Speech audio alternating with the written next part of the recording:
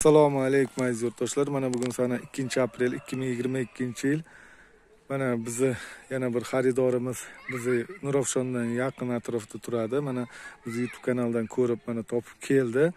Mana aziz yurtdoshlarimizga mana ozgina bir ikki so'z aytmoqchilar. Shu bahodir akani youtube kanali orqali ko'rdim. Podpisatsiya bo'lib a'zo bo'lib.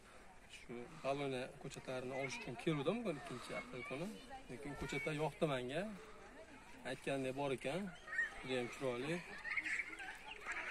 Mayli hammanglarga tavsiya qilaman. Olinglar ekinglar og'irlar yengil bo'ladi. Xudo xohlasa yana bir gektar joyim bor. Nasib qilsa akam yetishtirib beraman ukam. Xohlagan payt kelaverdida Mhm.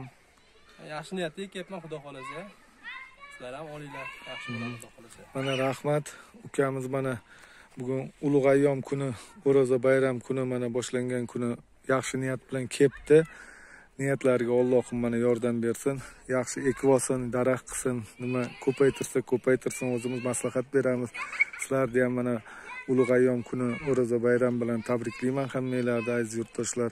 Mana sizlar ham bizga kelib mana shunaqa nihollarni xarid qilishinglar mumkin. Manzilimiz nurafshon to'ytepada joylashgan.